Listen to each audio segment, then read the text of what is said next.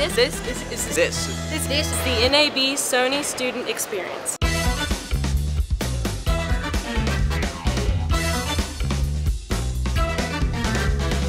I've learned so much in the past 24 hours. I had no idea what media enterprise meant, who I'd be working with, what kind of stuff it was.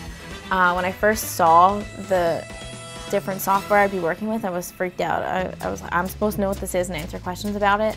But throughout the process of the day today, I learned a lot. So now I'm excited that I actually know stuff.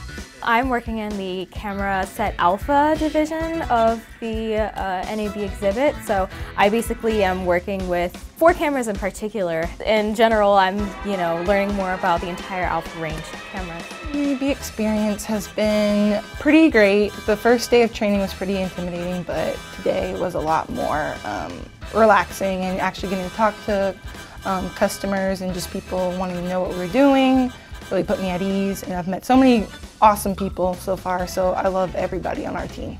It's been awesome. I learned a lot that I didn't know about and it, I don't know, there's a bunch of things that I'm learning that are going to become like really big in the future.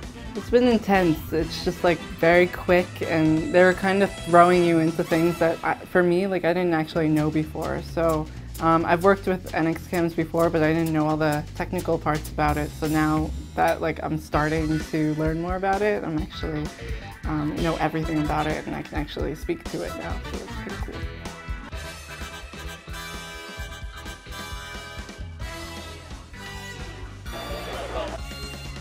This is the Sony NAB Student Experience. Sushi, my boss.